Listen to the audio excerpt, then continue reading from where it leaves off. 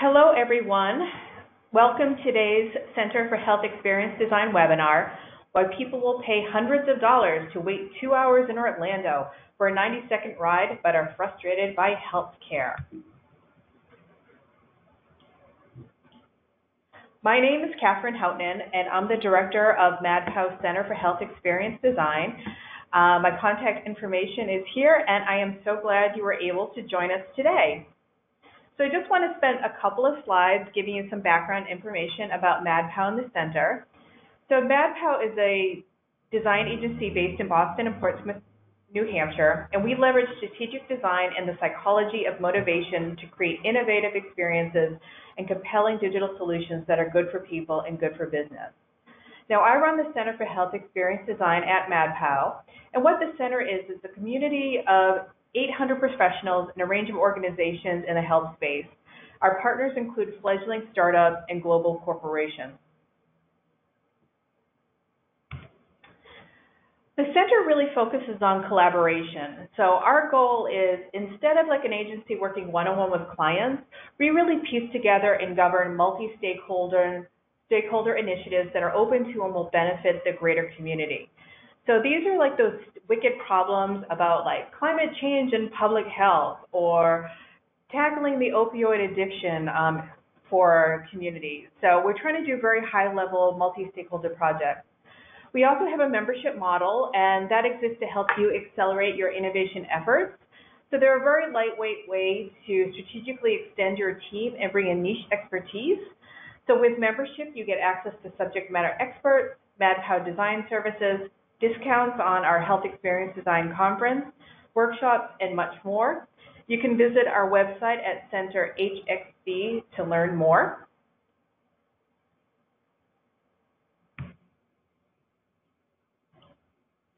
I also wanted to let you know that every year we have a Health Experience Design Conference in Boston, and that has been scheduled for April 14th and 15th, 2020. We're already selling tickets. Um, and more importantly, we, the call for speakers is open. So if you'd like to present at the conference either as a keynote or there's something you really want to communicate in a breakout session and say, social determinants of health or public health or medical device design, feel free to submit a submission. Um, you can find that information at the conference website, hxdconf, C-O-N-F.com. I believe you have until the end of October to get your submission in. And we are doing anonymous um, evaluations, so to ensure that we have a large diversity of speakers. So we'd love to get your submission, so um, please feel free to go and check that out. So for today's talk, we're using GoToWebinar. And we're going to be presenting for about 45 minutes, and then we're going to spend about 10 minutes answering your questions. So um, if you'd like to have anything answered, there's a box on the right-hand side called questions. Feel free to type in anything in there, and at the end, we'll go over anything you have to say. And then if you rerun at a time, feel free to email myself or Cynthia Sharp. So just to kick this off, when your registration, I put this question in there just to see what people would say to kind of set the tone for this. So I put in the question in the registration, what theme park experience would you like to see duplicated in healthcare? So I wrote down um, the answers that you guys submitted, um, which I thought were entertaining. Uh, so free rides after entry. Uh, I like that you paid once and then everything's free after the fact. Um, wait time management and service expectations from employees and updated wait times. Having your needs anticipated and met before you know you need something the ability to make it right, such as service recovery. People would like a fast pass at Disney or a Disney VIP experience. They like the idea of a character driven narrative. Fun and education on the way to an appointment, which is the main event. Automation IDs with chips that store all your information so you don't have to keep paper records. Okay, my favorite's the next one make seemingly disproportionately high prices relative to value look worthwhile to spend from a consumer standpoint. A happy ending and joy, a well thought out overall connected experience, And this one, I'm not quite sure what this means, but I threw it in here anyway, is like what a great, when a great roller coaster finishes in a vertical position and then you repeat it backwards, wahoo. So, not sure how that translates to healthcare, but I like the enthusiasm. okay, so here's the truth. So Cynthia Sharp, from ThinkWell Health was scheduled to present this live today, but at the last minute she got pulled away for a business trip. So Cynthia and I got together yesterday and recorded her portion of this presentation. So just so you're aware, it was recorded yesterday, but it is Cynthia. It's the same presentation you would have gotten live. It just makes the question and answer a little tricky at the end. Um, so I am here. I'm a trained health experience designer. I'm happy to answer your questions. And Cynthia will all, has also provided her contact information if you want to reach out to her directly. So let me go ahead and share Cynthia's video about the world's longest title of um, presentation. So it's first time doing this, so here we go, okay? Cynthia Sharp presenting from ThinkWell Health.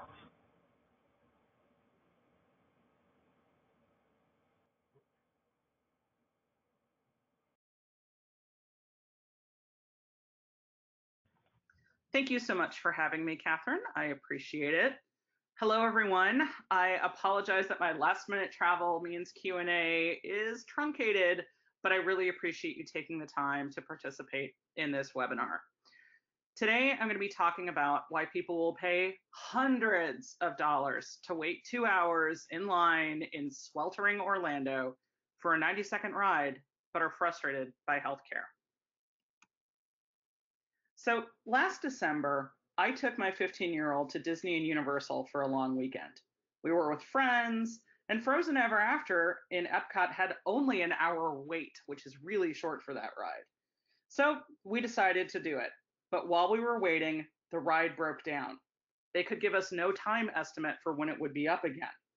We decided to stick it out and eventually got on the ride. And moreover, we emerged happy.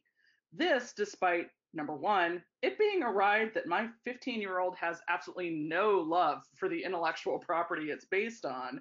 And number two, having to wait through a pretty long ride breakdown. This is some serious dark magic. How does Disney do it? We have gone as a culture from a service economy to an experience economy. You need look no further than your local coffee shop grocery store, or retail experience. Consumers expect experience not just at theme parks, museums, and theaters, but now they even expect it in everyday spaces. Experience, though, is more than physical space. It's more than hospitality. It's more than a warm smile. It's the sum of people, places, platforms, and processes. In experience design terms, we look at experience as the totality of every single interaction a guest, visitor, or employee has. All of the messaging they receive before an experience, the spaces they encounter and in what order, the human interactions, the messaging that they receive after. It is an emotional journey of transformation. Even if the transformation is small, like that was a really cool exhibit, or that ride was awesome, or big, my mind is blown and now I want to take a class about natural history or this was the best vacation ever and I can't wait to come back here again with my family even though it's going to cost me $6,000. There is fantastic research out there that informs experience journey mapping. The Doblin Group breaks down an experience, a compelling one, into five stages, three of them major, two of them transitional. There's the moment of attraction, the thing that gets you to go, the messaging before. There's the entry, it's a transition point as you step out of your everyday existence into the experience itself. There's engagement, which can be small or large. Then there's the transition out, the exit. And then there's the extension, the continued messaging afterwards. And within one seriously large experience, like a week long vacation, you'll have multiples of this experience journey embedded within that larger journey.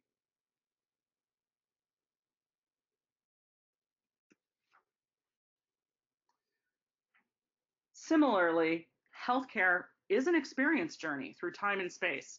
Instead of getting a mailer from a theme park or a movie theater or a museum that attracts you to come in, there's an activating event. You're sick, you need a checkup. A family member or loved one is ill and you need to go visit them. Understanding the intention and the purposes of all of the spaces within healthcare help us with this experience journey mapping. This experience journey recognizes the power of each of these steps in healthcare, often that activation moment, unlike the attraction moment in the Doblin map, isn't necessarily a positive one. And so that transition is also really fraught with emotion as you enter into the interaction stage where you are on site with healthcare, you are receiving healthcare through an app, you are talking to a nurse line. And then there's the exit, the transition out of the healthcare space. And then the extension, all of that messaging that as a patient or a family member you get from the office or the hospital afterwards, all of that follow up as a staff member or a clinician, the follow up that you have to do with a patient or family member. So when we think about healthcare, we want to orchestrate the interactions that optimize the process and the outcomes to create meaning and value for patients, families, and professionals alike. Viewing the healthcare journey as an experience journey this way recognizes the power and influence of what we see and what we feel and what we touch and their role in day-to-day clinical interactions, the quality of care, and its associated outcomes. If you've ever been to a theme park, you notice it's you've probably noticed that it's organized into lands or zones. Healthcare in a way falls into several themes as well. There's acute illness or injury. There's stable or chronic illness. For instance, my teenager has asthma and he has a specialist who deals with that. And so on and so forth. When we pay attention to these themes in healthcare and the spaces and processes and people involved in them, we can begin to determine where there is overlap between these themes and where they each have unique requirements.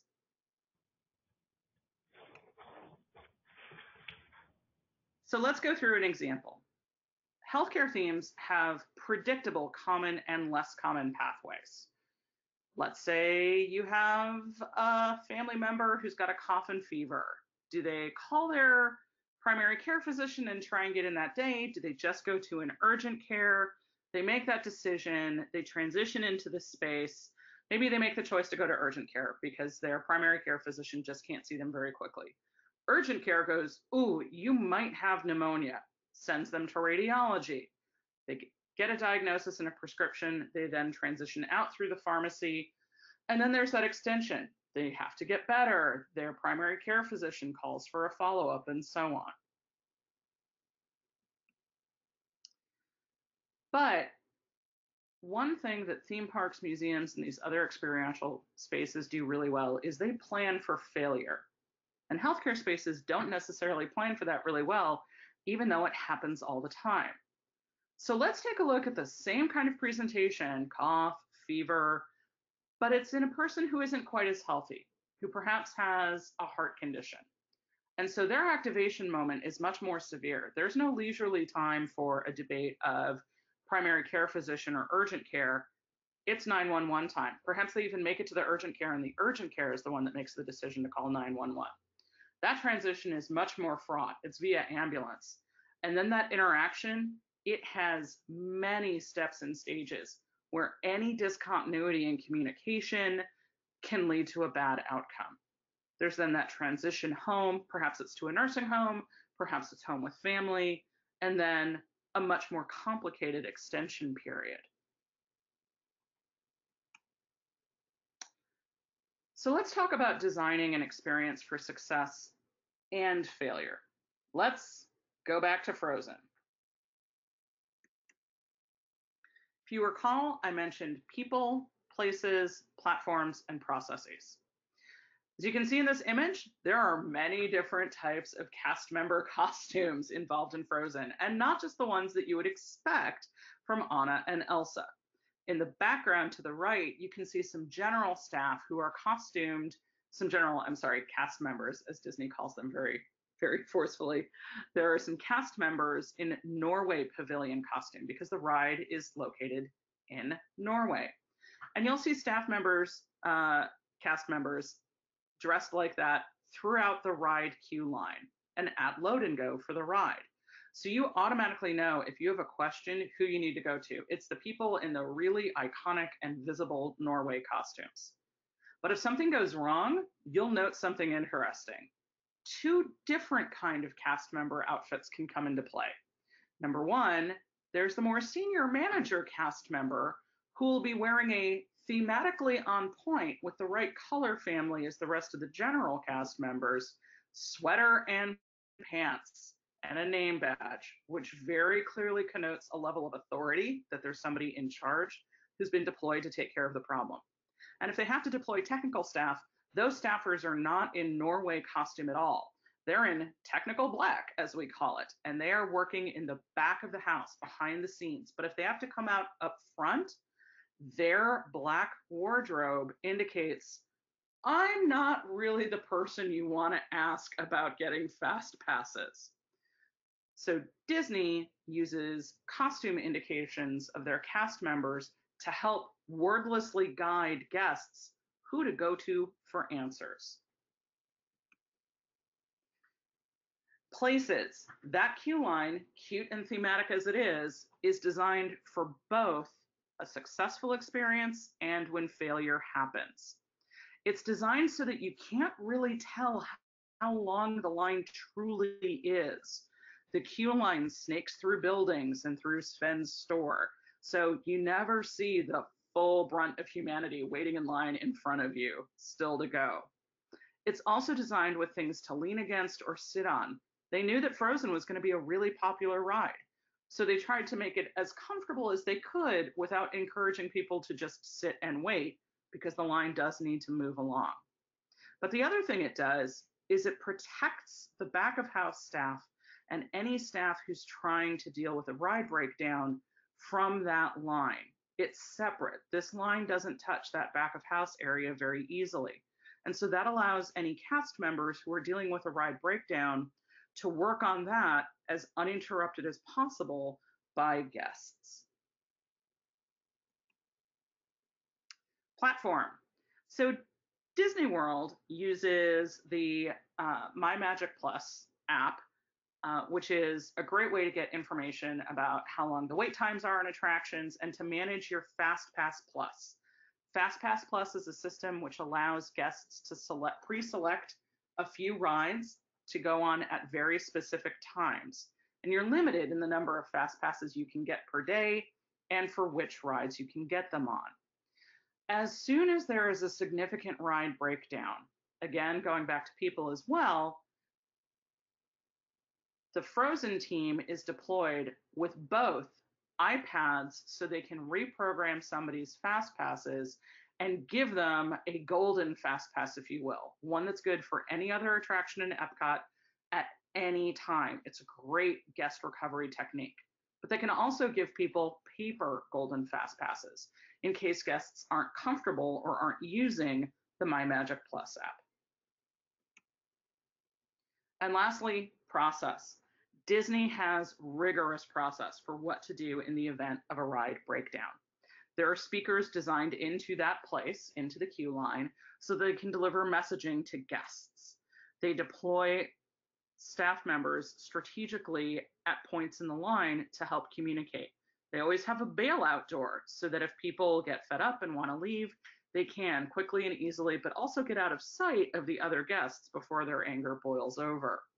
The process is very clearly defined and it has branch points. So depending upon what happens with a ride breakdown, if they think they're going to get it back up pretty soon, and then it appears that it's going to take a little bit longer, they can tweak their messaging to help encourage people to leave the line without being negative.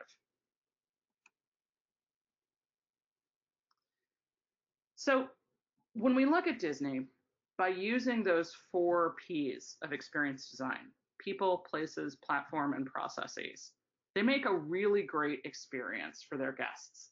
Even when things go wrong, it's still a pretty good experience. But theme parks aren't healthcare. At the end of the day, making people ha- happy is important, but it's not as high risk as saving lives. But there is fantastic research out there that demonstrates that the experience of care can affect the quality of health of patients, as well as improving the financial vitality of the systems that's caring for those patients.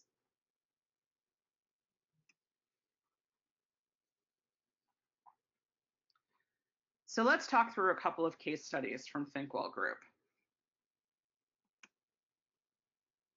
Nature Quest at the Fernbank Museum of Natural History is a children's exhibit.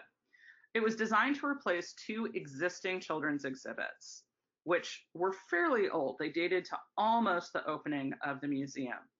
And the museum was dealing with a real challenge. They have a bifurcated audience. The museum itself is located in an extremely wealthy, sort of suburban ish enclave of Atlanta with a high uh, percentage of two income households where one or both of the parents have an advanced or professional degree. The children are likely to have nannies or caregivers of that sort.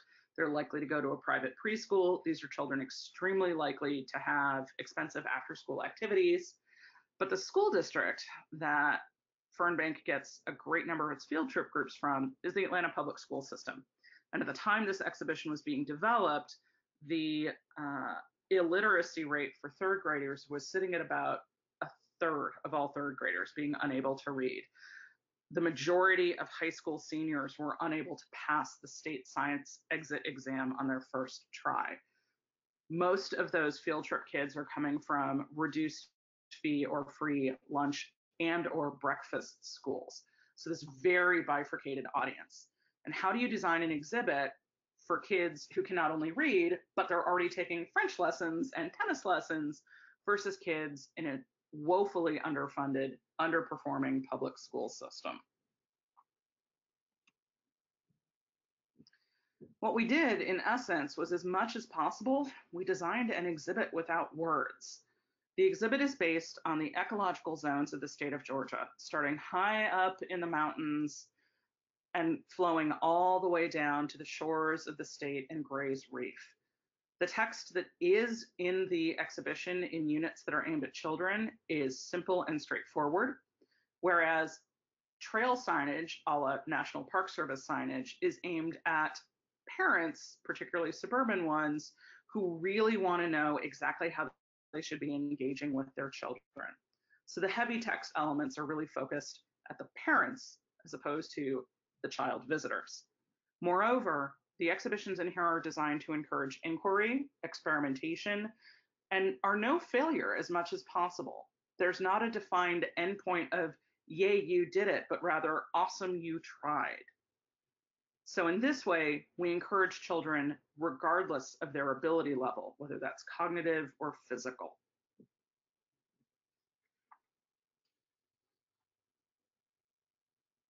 In terms of experience design for healthcare systems, NatureQuest teaches us some lessons about looking at who your audience is and not considering them as a monolith, really digging into the demographics and psychographics and mapping that out extremely carefully. It's also a great example of using a 360 design process and design aesthetic to really help create a sense of place and get users into a certain mindset. There are 17 different audio zones in this exhibit, for instance, and it's only a 7,000 square foot exhibit. And each zone is specific to the bird species and the plant species, the wind through the plants, to that particular ecological zone and its adjacencies to other ecological zones. We paid a lot of attention to how people would move through the space and how intellectually we could help them traverse that space. Warner Brothers Studio Tour London, the making of Harry Potter. You would think you wouldn't have to go as deep on your user journeys on anything relating to Potter, and yet you do. Because the reality is, Harry Potter has a huge fan base at wildly varying levels of uh, ability to read and ability to engage with content.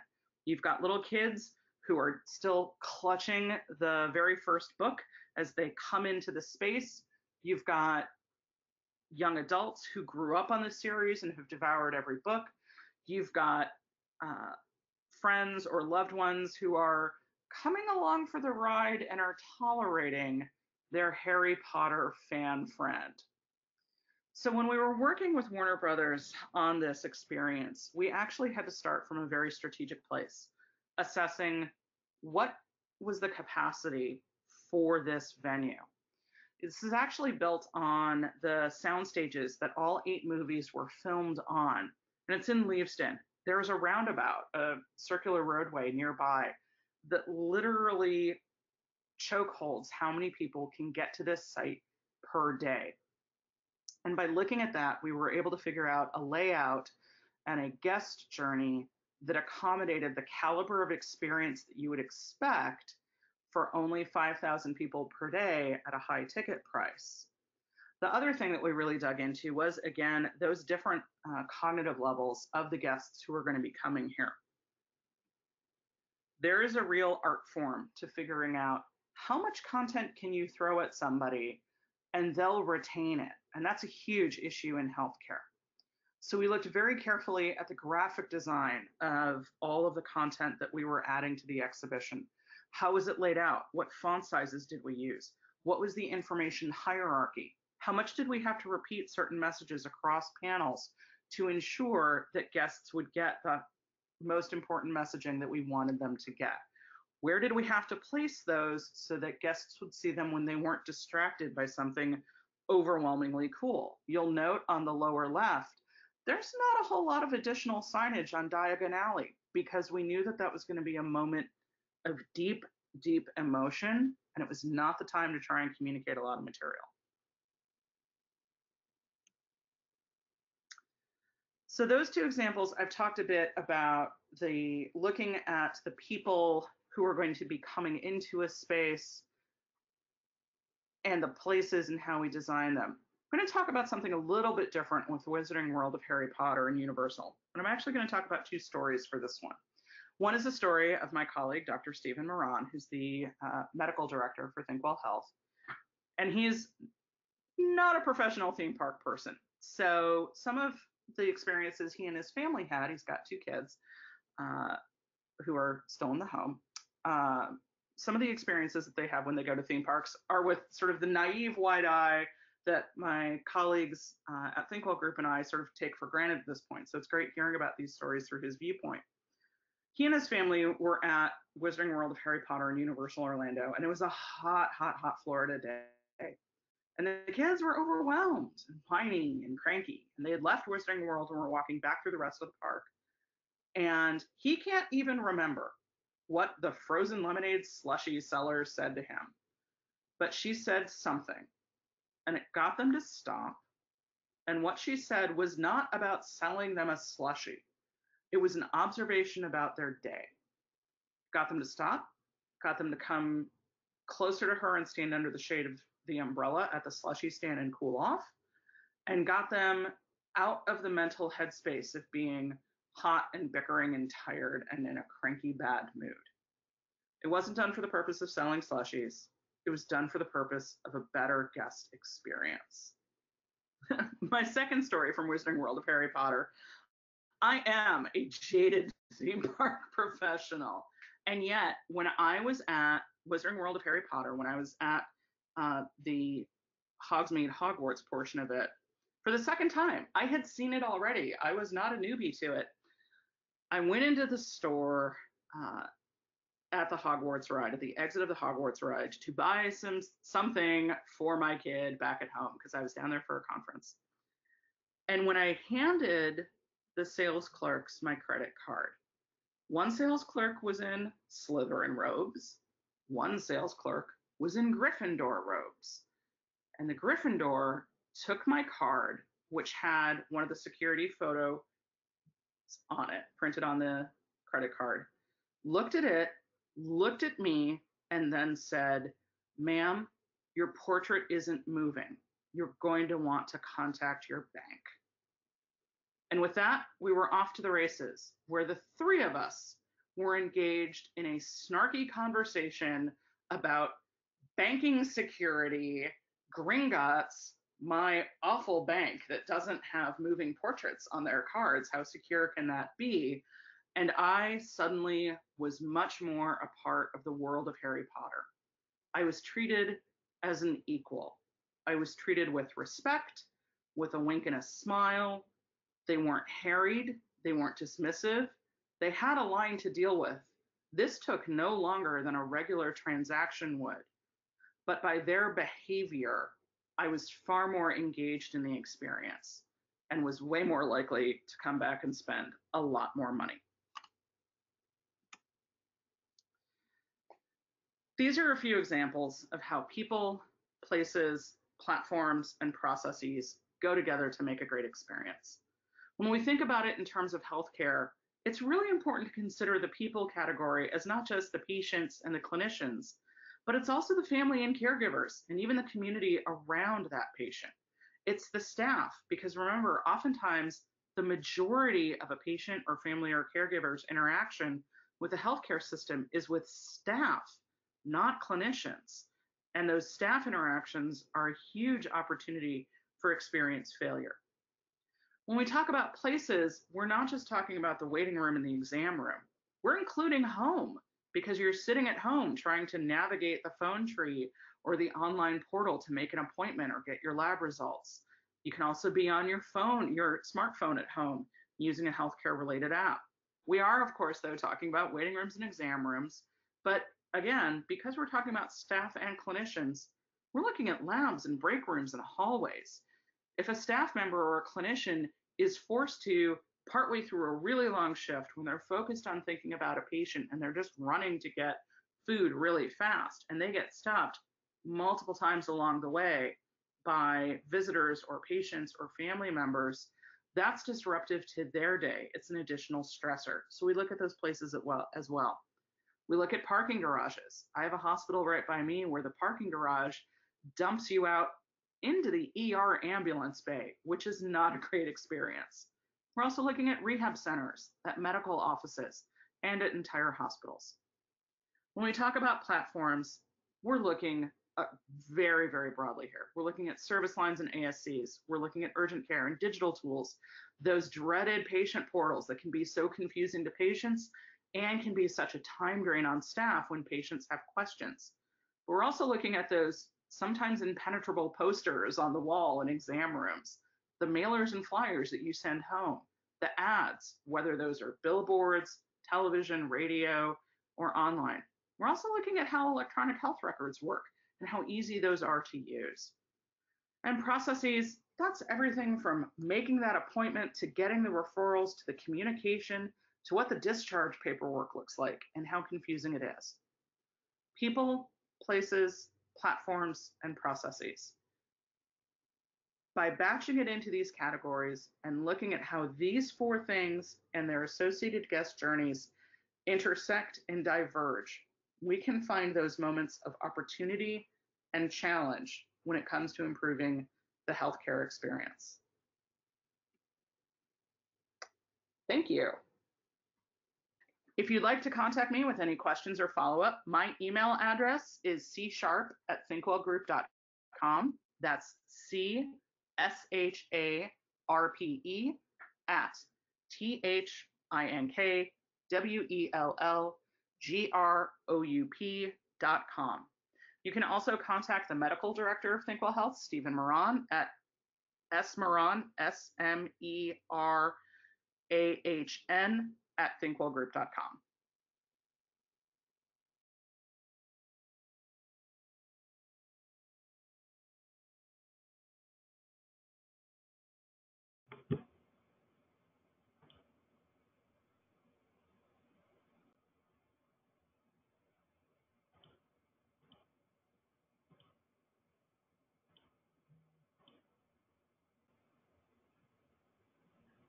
Okay, so I'm just bringing back up the last few slides to start um, just summarizing and um, getting asking your questions. So here we go. Okay, so as I said, um, Cynthia's not here to answer questions about specifically her presentation, but here at MadPow and the center, we've done an extensive amount of work and experience strategy and service design. We've worked a lot with hospitals like Cincinnati Children's. We've done end-to-end service design analysis and journey mapping all the way from before you engage with a health um, organization all the way to after your appointments.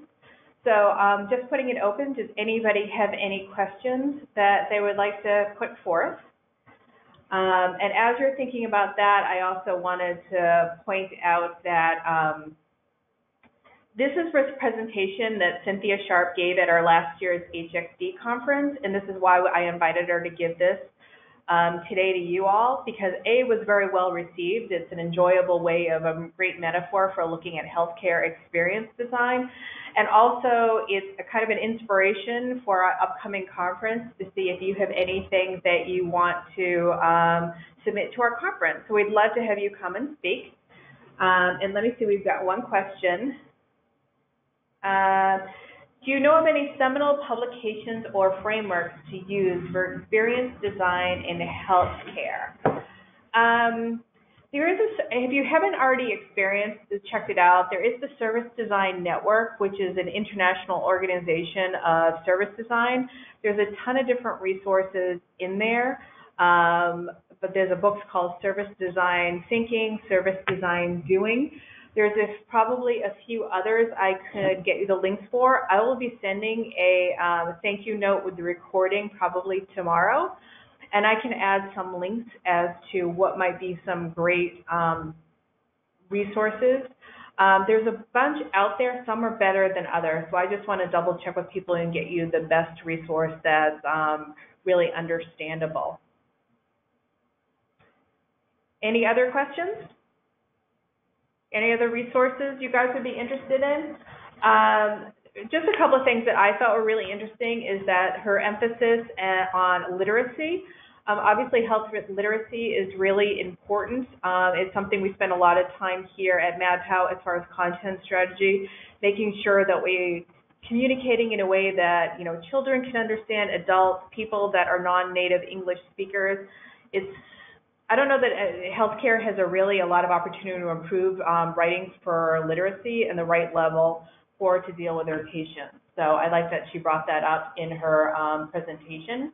And then um, we've also done a lot with pediatrics. I'll send out a link to our work we've done at Cincinnati Children's Hospital about how to really put yourself in the place of a child when you're trying to design a medical experience and really understand its thought process Again, it's a childlike view of a hospital, which is a terrifying place, and how to really take their um, concerns and needs in mind when you're actually designing a health experience.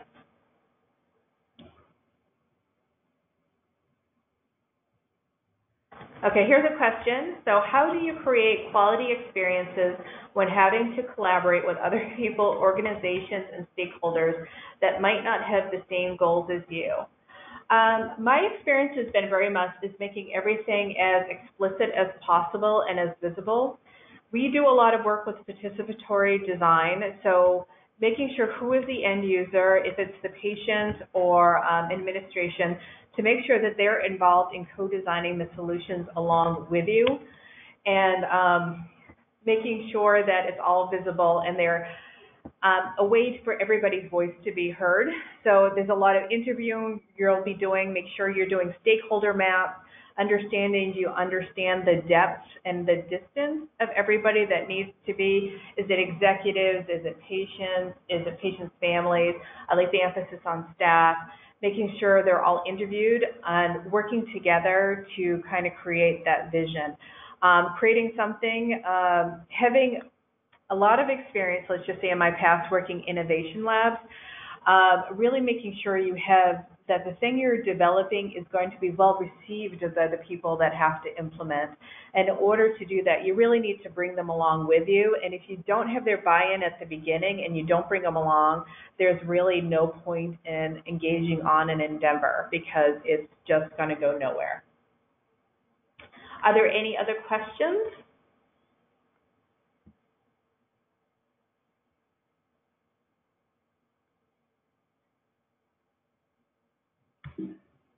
Okay, well, thank you all. Um, I just want to let you know of a couple of things that are coming up. Is that if you're really interested in creating a culture of org, innovation, we have a workshop coming up in the Boston office called Transformation by Design, Strengthening Design and Innovation Capacity in Your Organization. That will be on the 17th here in the MadPow offices. We also have a workshop on November the 7th in Boston by Dan Berlin, our VP of Experience Research, and he is going to train people how to discover unmet needs through experience research.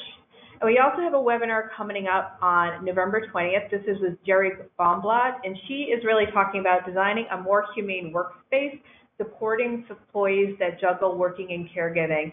And she's coming from the really point of view that nurses and families are usually tasked with kind of dealing um, with the care of their extended family. And how would you design a workplace for those kind of frontline workers that are being pulled away to deal with crises at home? So that should be a really interesting conversation on the 20th of November. Love you to invite you to go to Center HXD to learn more about our upcoming events and our resources and feel free to reach out with any additional questions. As I said, I will be sending out the recording tomorrow, and we'd also love to help you with any of your design and innovation goals. So MadPow office services such as we do research and strategy, we do user experience design and development, we offer service design, intervention, intervention design and evaluation, and design and innovation challenges. For any questions, just reach out to me and watch your email tomorrow for the recording and additional resources. Thank you so much for joining.